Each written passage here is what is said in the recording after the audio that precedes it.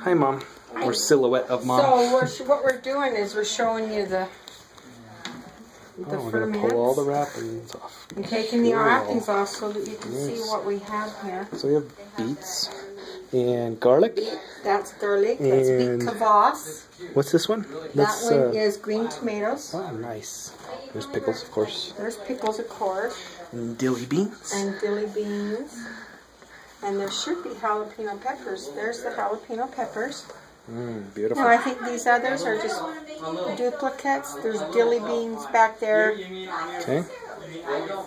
Anyway, they're covered because, the, and then you should get the sauerkraut. of the That's light, right? cauliflower. Let's see if we can lift without jittering it too No, much. you can jitter it because it's okay. Well, I'm afraid of airlock, you can do whatever you The need. airlock's not going to spill in. Uh-uh. Oh, that's good. As long as Okay. And see, there's the Ooh, jalapenos. jalapenos, Mm. but they, I think they need more salt.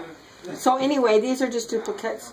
Okay. And so you see that they're covered and how they look. Oh, definitely. And you It's could, more light. and Go ahead. uh, if you want more light, it's No, it's okay. Well, I think it'll turn out well. Did you did you get it? There we go. Is that better? Either way. That actually looks... In, either way's Okay. fine. So, that's all of them with the different airlocks. Okay. And you can get the sauerkraut, and it's in here. And Okay. if you look at the sauerkraut, John, just Mm-hmm. it shows you that it shows you. I'm gonna stand. Looked like I had broken her. It shows you that you you bring these only that far up, And then the brine comes just that. You have two inches of brine above the sauerkraut. Right. It isn't like you bring it all the way up. Exactly. So have a And there's actually weights on called there. headspace, I think.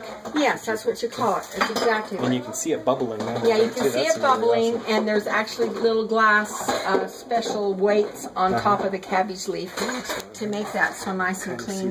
It's one of the prettiest jars of sauerkraut I think I've, Really? I've Yeah. ever made. I think it looks good. So thanks for taking that, John, because I wanted to